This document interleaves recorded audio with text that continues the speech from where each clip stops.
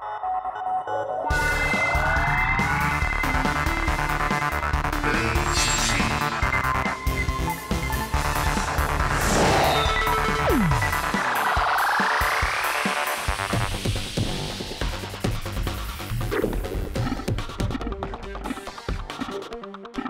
Fala galera, está começando mais um Cineplay com uma espécie de aquecimento para a estreia do remake do Robocop nos cinemas brasileiros. O filme é gringo, mas foi dirigido por José Padilha, brasileiro que nos trouxe Tropa de Elite 1 e 2. Hoje vai rolar aqui um material especial sobre os bastidores e o elenco que fez parte dessa produção. Olha só.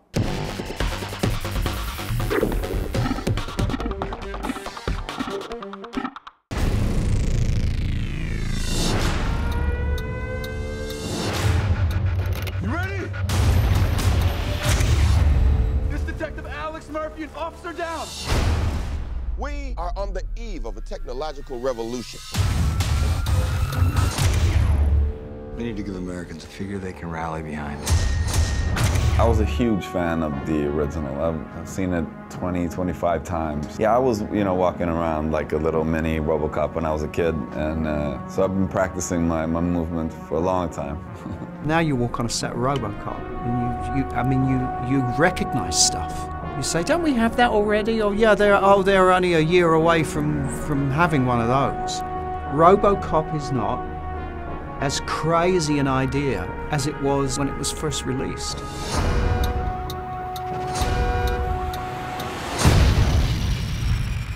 Here we go. Ready and action! At first, the whole experience was a bit surreal. Like that I was gonna be RoboCop, that I was gonna be in the same movie as Gary Oldman, Michael Keaton, Samuel Jackson, uh, and then Michael K. Williams that you know I idealized from The Wire, and then also the vibe that Jose created around the cast, where everybody was you know very helpful and enthusiastic, and everybody was really putting in their best work and really trying to try to make this into something special.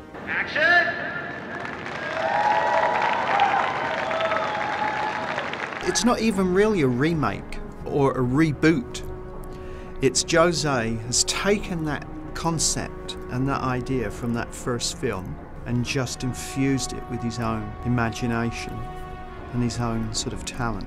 He suffered fourth degree burns over 80% of his body. If he survives, he'll be paralyzed from the waist down, confined to a wheelchair. You say you can save him, but what does that mean? What kind of life will he have?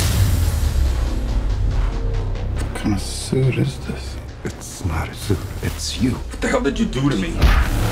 You know what? The dude's stuck in it all day long. He, he seldom got out of it. You know, it's it, do the whole day, get locked into his character, and I, he's he's a he's a really good actor. It's really hard to be good and you know be that, and he is really really good in in this thing. Joel, I think, is uh, gives a great performance as RoboCop because he plays RoboCop as as a just a real guy, you know. Uh, and when I say regular guy, I don't mean plain or anything like that. I just mean real and honest, living, you know, just open, a gentleman, you know what I mean, but still sort of like little bit up and, uh, you know, ready to go, and that eagerness, that keenness that sort of puts him in the line of fire.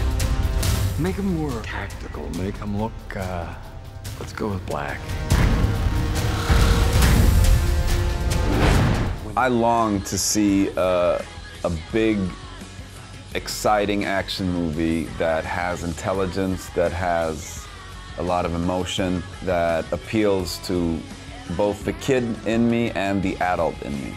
And I feel that this movie does all of those things. It's great entertainment, but it's also entertainment with some substance. Dead alive, you're coming with me.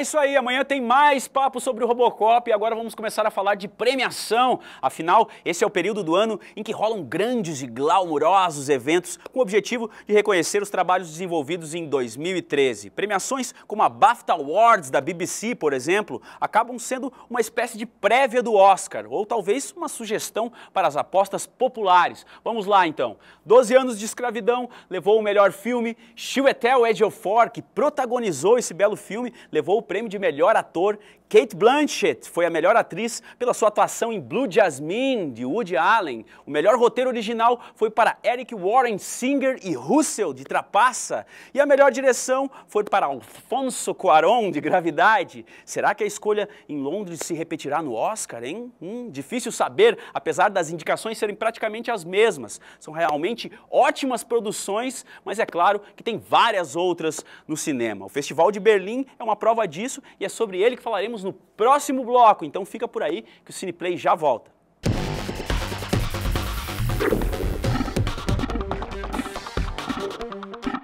Cineplay de volta e agora o papo é sobre o Festival de Berlim que rolou na semana passada e trouxe várias novidades para a lista de filmes interessantes a assistir.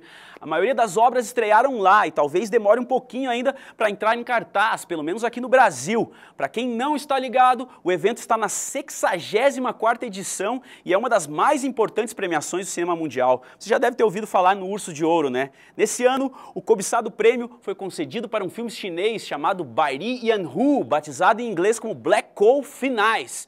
O filme é um thriller dirigido pelo chinês Jiao Yinan e o protagonista Liao Fan levou o Urso de Prata de melhor ator. Dá uma olhada no trailer.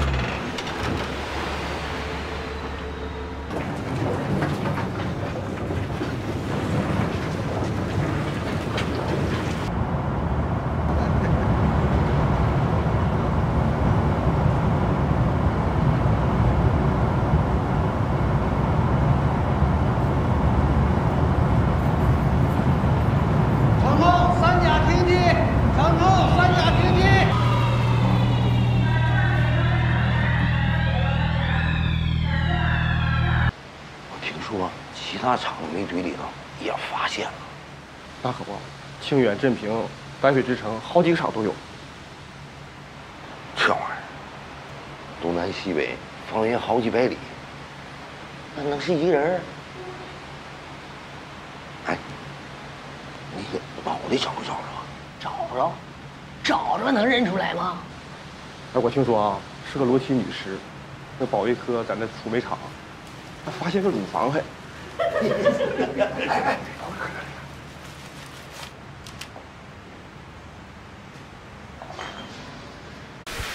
好好看看，是不是的？没错，就是。良心平安樊书画，也得跟我下下棋。还走戏，在地方才八年，从此不是职业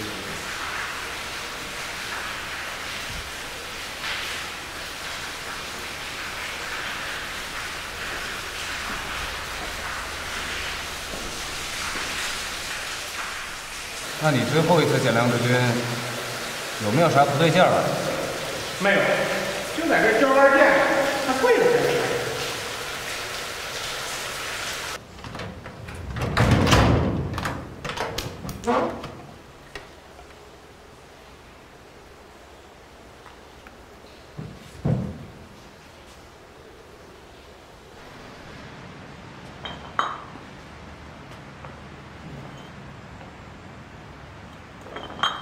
没见过这么抛尸的。像天女散花，扔的全省哪哪都是。这好些厂听说煤堆下面有死人，都不敢开工了。这如果你们还不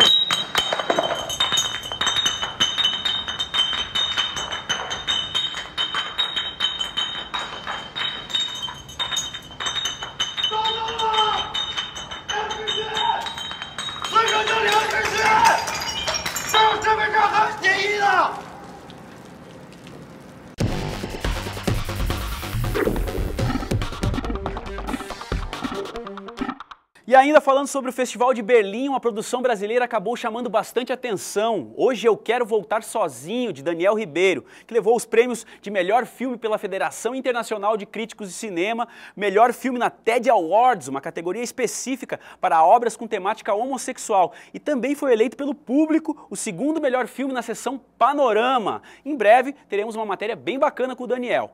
Por hoje é isso, amanhã tem mais Cineplay e para ficar ligado no que rola no mundo do cinema, música e games é só você acessar o nosso portal playtv.com.br. Um grande abraço, até amanhã, falou!